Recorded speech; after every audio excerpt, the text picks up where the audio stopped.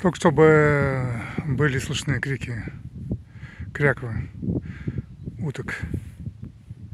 Где-то там прячутся.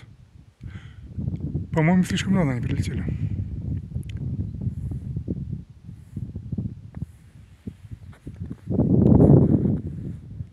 Год назад, ровно год назад, в это время началось половодье 12 марта.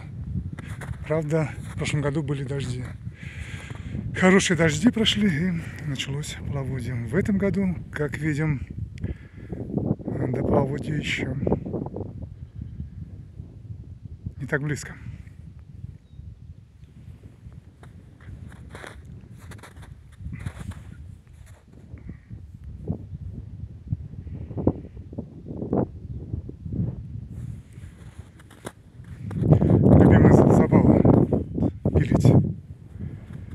Деревья у нас вот хорошо росли ивы, давали тень, вроде никому не мешали, вроде радовали всем глаз, но нужно обязательно спилить, оставить вот эти пеньки.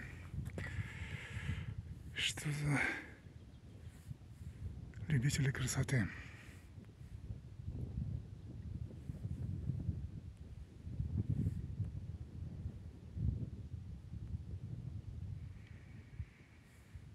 Рыболов нет, наверное, перестало клевать, хотя странно, сейчас должно клевать.